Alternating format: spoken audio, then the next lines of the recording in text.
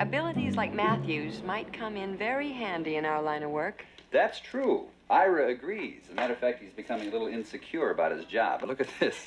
I got a four-page printout this morning entitled Dependable Printed Circuitry versus Inexplicable Phenomena. Do you believe that? Oh, Always too much. now, about your punishment. Punishment? That's right, punishment for staying on an assignment after specific orders not to. Steve, I had to prove that Colonel Decker lied about me, and you know it. Colonel Decker is now Private Decker. As far as your punishment is concerned, I'm sorry, Diana, but I'm going to have to insist.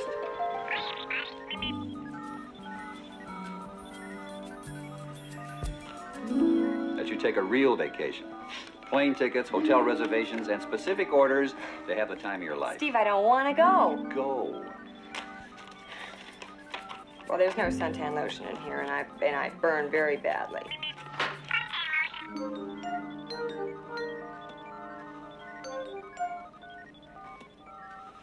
I don't have anything to read.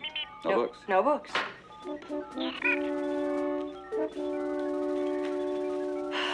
No film for my camera.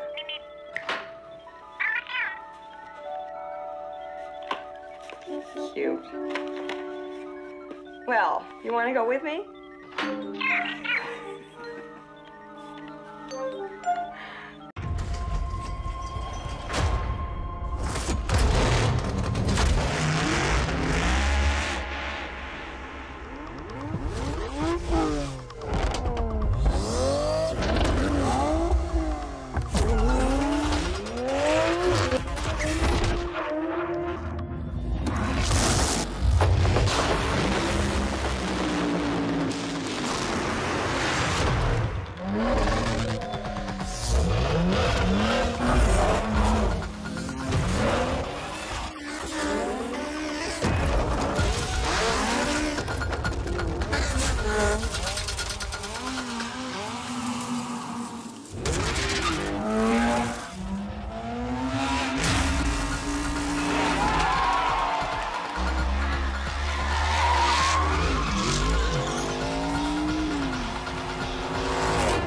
Toyota, let's go places.